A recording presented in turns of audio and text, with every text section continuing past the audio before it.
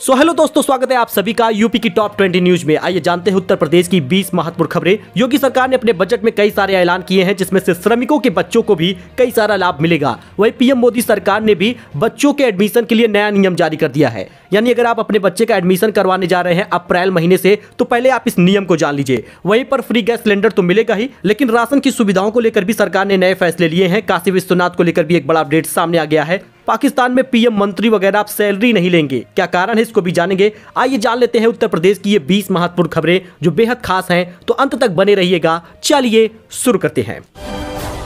तो दोस्तों, बात करें पहले राशन योजना की तो आपको 28 फरवरी तक, इसी फरवरी में दो बार राशन मिल रहा है। यानी फरवरी में 17 तारीख तक तो आपको जनवरी का राशन दिया गया है, लेकिन 28 फरवरी तक आपको फरवरी महीने का राशन दिया जा रहा है, जिसमें गेहूँ चावल होगा। लेकिन ये जो चावल आपको मिल रहा है, ये फोर्टिफाइड चावल है। इसका मतलब ये होता है कि इसमें विटामिन बी वगैरह मिला है।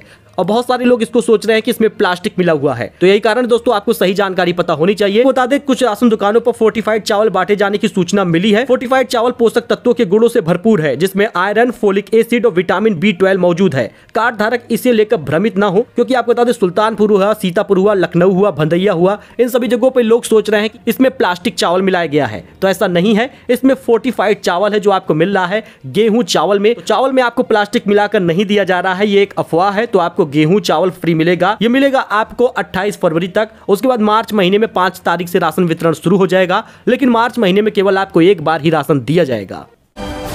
वही मुफ़्त राशन अगर आप लेने जाते हैं तो राशन डीलर आपसे आनाकानी करता है, बुरा व्यवहार करता है, या फिर आपको राशन कम देता है। और सख्त कार्रवाई अब इस पे होने वाली है, क्योंकि बस इस नंबर पे आपको एक बार फ़ोन करना होगा। केंद्र सरकार ने बड़ा अपडेट दिया है। राशन कार्ड की मदद से गरीबों को फ्री राशन मिल रहा है, जिसका पैसा सरकार दे रही है। इस होली से पहले आपको आठ मार्च से पहले तक दो बार राशन मिल जाएगा। अगर आप यूपी के हैं तो आपको दो बार राशन दिया जा रहा है। लेकिन वहीं पर दोस्तों, कोटेदार इस बात से आनाकानी करते हैं कि ये फरवरी का राशन है, ये मार्च का राशन है। इस प्रकार से बेवकूफ़ बना के राशन कार्ड धारकों को राशन नहीं देते, या फिर उनके यूनिट में कम राशन देते हैं। मतलब कि अगर आपके राशन में पाँच लोग हैं तो पच्चीस किलो की जगह पे बीस किलो देंगे, बाईस किलो देंगे, कटौती करते हैं राशन की। अगर ऐसा वो करते हैं तो आप उनकी शिकायत दर्ज करा सकते हैं, क्योंकि केंद्र सरकार की तरफ़ से देश भर में अस्सी करोड़ जरूरतमंदों को मुफ़्त राशन मिल रहा है। मगर अब इसमें कोई राशन कटौती करता है या आनाकानी करता है तो आप इस वेबसाइट को देख सकते हैं। इसमें आपको शिकायत करनी होगी एन पर जाकर। वहीं पर दोस्तों, हम आपको टोल फ्री नंबर वगैरह भी दिखा रहे हैं, जिसमें हर राज्य का नंबर दिया गया है, और साथ ही उत्तर प्रदेश का नंबर भी दिया गया है। इस नंबर पर आप कॉल करके तुरंत उनकी शिकायत दर्ज कर सकते हैं। आप यहाँ पे देख सकते हैं one eight double zero one eight zero zero one five zero number है। इस पर कॉल करके आप उसकी शिकायत दर्ज करा सकते हैं। अच्छा बजट 2023 में श्रमिकों के विकास के लिए योगी सरकार ने बजट पेश किया है। इसमें कई सारी घोषणाएँ की हैं जो आपको पता होनी चाहिए। दरअसल दोस्तों, मातृत्व शिशु एवं बालिका मदद योजना के अंतर्गत पंजीकृत महिला श्रमिक के संस्थगत प्रसव की दशा में निर्धारित तीन माह के न्यूनतम वेतन के समतुल्य धनराशि एवं रुपए एक हज़ार के चिकित्सक बोनस और पंजीकृत पुरुष कामगारों की पत्नियों को रुपए छह हज़ार एक मुफ़्त में दिए जाने का प्रावधान है। और इसी को लेकर सरकार ने एक बड़ा ऐलान और कर दिया है। निर्माण श्रमिकों के बच्चों की शिक्षा हेतु राजस्व मंडल में एक हज़ार बालक बालिकाओं के लिए कक्षा छह से बारह तक के अध्ययन हेतु अटल आवासीय विद्यालय निर्माणाधीन रहेगा। यानी कि इसमें आप अपने बच्चों को पढ़ा सकते हैं, श्रमिकों के बच्चे एक बेहतर स्कूल में पढ़ेंगे। वहीं पर अगर आपको बता दें, अधिकतम दो नवजात शिशुओं के पौष्टिक आहार हेतु लड़का पैदा होने पर एक मुश्त रुपए बीस हज़ार रुपए दिया जाएगा। वही लड़की पैदा होने पर इस स्थिति में पच्चीस हज़ार रुपए बतौर सवाधि जमा जो अट्ठारह वर्ष के लिए होगा, भुगतान किया जाएगा। अच्छा वहीं पर आपको ये भी ध्यान देना है कि केंद्र सरकार की क्लास एक में एडमिशन के लिए उम्र फिक्स करने की तैयारी कर रही है। राज्यों को जारी कर दिया गया है दिशा निर्देश। क्लास एक में एडमिशन के लिए बच्चों की न्यूनतम आयु फिक्स कर दी गई है।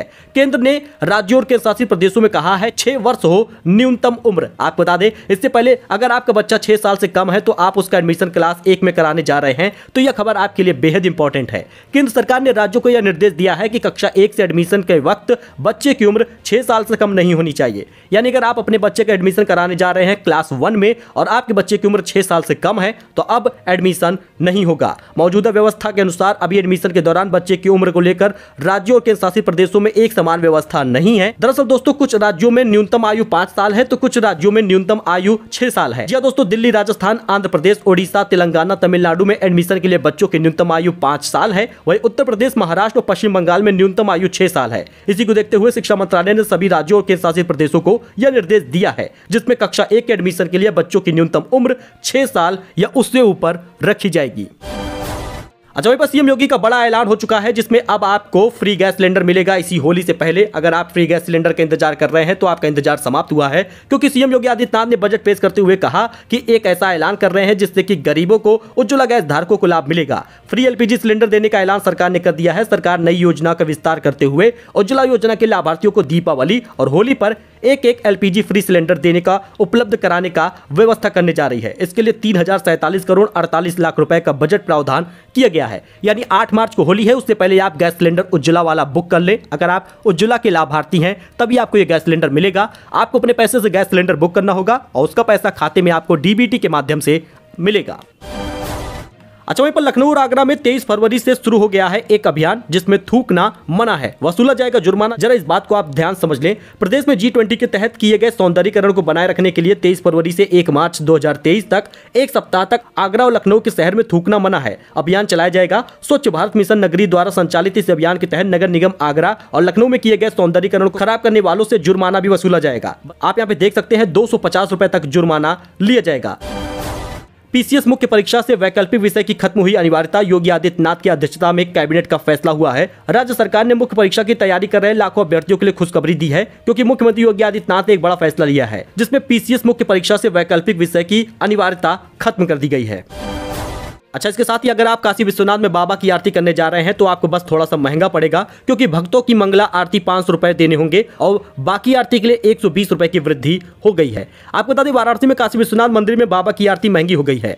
मंगला आरती के लिए भक्तों को डेढ़ रुपए ज़्यादा देना होगा, यानी अब साढ़े तीन सौ की जगह पर पाँच रुपए देने होंगे। सप्तऋषि आरती, श्रृंगार भोग आरती और मध्यान्ह भोग आरती में आपको एक सौ बीस रुपए की वृद्धि देखने को मिलेगी। इन आरती के लिए एक सौ अस्सी की जगह आप तीन सौ रुपए लिया जाएगा। एक मार्च से ये लागू हो जाएगा नियम। बोर्ड बैठक ने यह निर्णय लिया है।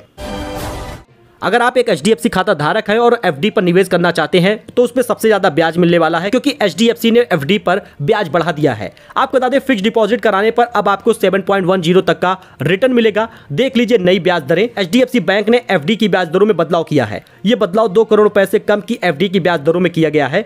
अब एचडीएफसी बैंक में एफडी कराने पर आपको तीन परसेंट से लेकर seven point one zero percent तक का ब्याज मिलेगा। आप यहाँ पे नई ब्याज दरें देख सकते हैं, जिसमें उनतीस दिन तक के लिए ब्याज दर में आपको तीन परसेंट यानी आम नागरिकों को और थ्री पॉइंट फाइव ज़ीरो वरिष्ठ नागरिकों को ब्याज मिलेगा। और कुल मिला के देखा जाए तो पाँच साल से दस साल तक के लिए seven point seven five percent तक का वरिष्ठ नागरिकों को ब्याज मिलेगा। तो कुल मिलाकर आप यहाँ पे पूरा FD रेट देख सकते हैं।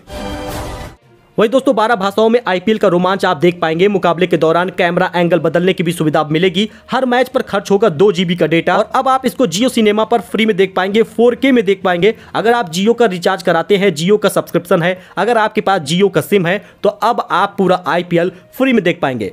क्योंकि जियो को डिजिटल और स्टार को टीवी राइट मिल चुका है। जियो ने आईपीएल के डिजिटल मीडिया राइट बीस करोड़ रूपए में खरीद दिया है। वहीं स्टार ने तेईस करोड़ में टीवी राइट खरीदा है। यानी कि एक मैच के लिए बीसीसीआई को करीब तीन करोड़ रूपए मिलेंगे। तो आप बता दें इंटरनेट पर पूरा टूर्नामेंट आप फ्री में देख पाएँगे। बीसीसीआई ने इस बार आईपीएल फ्री में दिखाने के लिए जियो सिनेमा को परमिशन दे दी है। यानी दोस्तों 4K यानी अल्ट्रा एच क्वालिटी में देखने के लिए मैच को अब पैसा खर्च ज़्यादा नहीं करना होगा, क्योंकि बहुत सारे जियो यूज़र होते हैं जो रिचार्ज कराते हैं तो जियो सिनेमा का सब्सक्रिप्शन ऑलरेडी मिल जाता है। इस वजह से अब आप फ्री में आईपीएल मैच देख पाएँगे और इसके लिए लगभग दो जीबी का इंटरनेट आपका खत्म होगा। तो चलिए जान लेते हैं गोल्ड सिल्वर प्राइस के बारे में, क्योंकि सोना चांदी फिर से महँगा हो गया है। जानिए 22 कैरेट गोल्ड का क्या रेट है। दरअसल दोस्तों, सोने और चांदी की कीमतों में आज उछाल देखने को मिला है।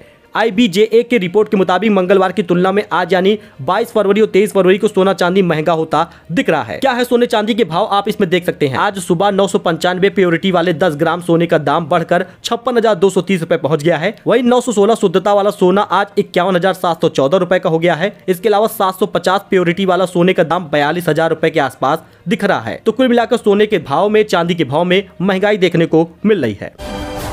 अच्छा कंगना रनौत की तारीफ़ पर एनडीटीवी से बोले जावेद अख्तर कहा, उसके बारे में भूल जाइए। गीतकार और कवि जावेद अख्तर ने पाकिस्तान के सरजमी पर खड़े होकर उन्हीं को बड़ी नसीहत दी थी, जिसका वीडियो सोशल मीडिया पर खूब वायरल हुआ और इस वीडियो वायरल पे कंगना रनौत ने जावेद अख्तर की तारीफ़ की थी और ट्वीट किया था। इसी को लेकर गीतकार का रिएक्शन सामने आया है। दरअसल, हाल ही में एनडीटीवी ने जावेद अख्तर से खास बातचीत में उनसे कंगना के ट्वीट को लेकर रिएक्शन मांगा था। उन्होंने कहा था कि ये महत्वपूर्ण रिएक्शन है, आप इस पे क्या अपना रिएक्शन देना चाहते हैं? तो गीतकार बोले, सोचिए मत, मैं कंगना को महत्वपूर्ण नहीं मानता व उनकी महत्वपूर्ण टिप्पणी कैसे हो सकती है उनके बारे में भूल जाइए। अच्छा इसके साथ ये पाकिस्तान के पीएम या मंत्री अब नहीं ले पाएँगे सैलरी, क्योंकि शाहबाज शरीफ बोले हैं, बिजली, पानी, गैस का बिल खुद भरे, ताकतवर फौज पर खामोशी जताई है। आपको बता दें दोस्तों, महज तीन अरब डॉलर के फॉरेन रिज़र्व यानी डिपॉजिट के साथ दिवालिया होने के कगार पर खड़े पाकिस्तान को बचाने की आखिरी कोशिश शुरू हो गई है। प्रधानमंत्री ने बुधवार रात सरकारी खर्च में ज़बरदस्त कटौती से जुड़े अहम ऐलान कर दिए हैं। उन्होंने कहा, मैं और मेरी कैबिनेट, बाकी मिनिस्टर सैलरी नहीं लेंगे। तमाम केंद्रीय मंत्री, बिजली, पानी, गैस टेलीफोन के बिल अब अपनी जेब से खुद भरेंगे। वही प्रधानमंत्री के मुताबिक मंत्रियों के पास मौजूद लग्जरी गाड़ियाँ नीलाम की जाएँगी। सुप्रीम कोर्ट, हाई कोर्ट और ब्यूरोक्रेसी से भी खर्च में कटौती की अपील की गई है। वही यूपी वेदर अपडेट को लेकर जान लीजिए, क्योंकि मार्च तक 40 डिग्री तक पहुँच जाएगा, पारा निकलने लगी है, तेज धूप। जानिए आज यूपी के मौसम का क्या हाल रहेगा। उत्तर प्रदेश समेत पूरे उत्तर भारत में अब गर्मी का हल्का सा असर देखने को मिल रहा है। फरवरी के महीने में अब पारा अब तेज़ी से ऊपर की ओर बढ़ने लगा है। यूपी में इसका असर देखने को मिल रहा है। दरअसल दोस्तों, मौसम के तेज बदलाव के बीच मौसम वैज्ञानिकों का अनुमान है कि इस बार मार्च महीने में तापमान चालीस डिग्री तक जा सकता है। इस बार अधिक तपिश के चलते समय से पहले फ़सलें पक सकती हैं। फरवरी में लगातार बढ़ने लगा है पारा और वहीं पर यह भी बताया जा रहा है कि अप्रैल मई तक लगभग 50 डिग्री तक तापमान जा सकता है। सो so, दोस्तों ये कुछ अपडेट है जो आपके साथ शेयर किया गया है। आई होप आपको ये पसंद आया होगा। ऐसी जानकारी ऐसे अपडेट के लिए आप हमारे साथ जुड़े चैनल को सब्सक्राइब करें। मिलते हैं नए अपडेट में नई जानकारी के साथ। धन्यवाद।